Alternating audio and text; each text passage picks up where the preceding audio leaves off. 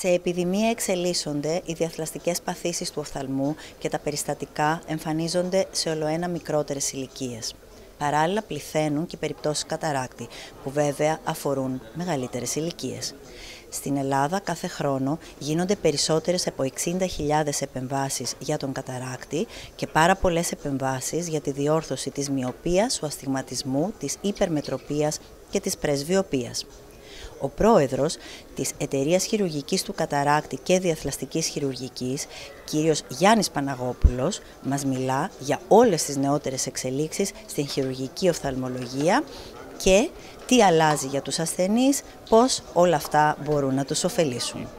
Το καινούριο φέτος στη χειρουργική του καταράκτου και στη διαθραστική χειρουργική είναι η χρήση ενός λέιζερ, καινούριου λέιζερ, το οποίο λέγεται femtosecond laser, με το οποίο μπορούμε να δημιουργούμε τομές στον κερατοειδή και όχι μόνο στον κερατοειδή και μέσα στο μάτι με μεγάλη ακρίβεια, οι οποίες είναι υποβοηθητικές στην εγχείρηση του καταράκτου. Βέβαια, η, βασικά η εγχείρηση χρησιμοποιείται η φακοθρυψία, η υπέρηχη όπως χρησιμοποιείται μέχρι τώρα. Το πλεονέκτημα αυτών των δομών είναι ότι έχουμε, το, του Femto Second είναι ότι έχουμε και πολύ πιο ακριβείς ε, τομές σε σχέση με τον ιστέρι όπως κάναμε μέχρι τώρα.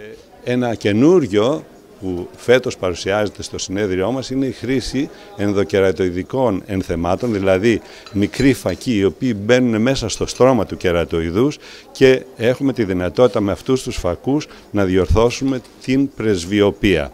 Βέβαια, ε, αυτό γίνεται ετερόφθαλμα, ε, δεν γίνεται δηλαδή και στα δύο μάτια, γίνεται στο ένα μάτι, οπότε το ένα μάτι βλέπει καλά κοντά και το άλλο μάτι βλέπει καλά μακριά. Και γενικά υπάρχει μία τάση να περνάμε σε no-touch techniques, δηλαδή τεχνικές που δεν αγγίζει το νηστέρι το μάτι.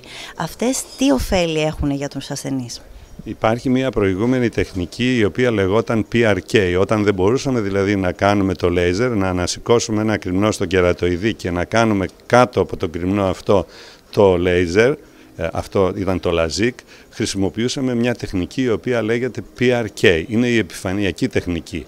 Για αυτή την τεχνική αφαιρούσαμε το επιθύλιο του κερατοειδούς και κάναμε το laser κάτω από το επιθύλιο. Αφού το αφαιρέσουμε τώρα, με αυτή την on-touch technique ε, μπορούμε να κάνουμε το laser απευθείας στο μάτι, απευθείας στο κερατοειδή, χωρίς να αφαιρούμε καθόλου το επιθύλιο με καινούρια λογισμικά έχουμε αυτή τη δυνατότητα να διορθώνουμε το, και έτσι είναι πολύ, να διορθώνουμε την μοιοπία ή τις διάφορες διαθλαστικές ανομαλίες και έτσι είναι πολύ πιο ανώδυνο θα έλεγα και πολύ πιο ομαλή η επούλωση στη συνέχεια μετά από την επέμβαση. Αλεξίας Βόλου για το Doctor's Channel.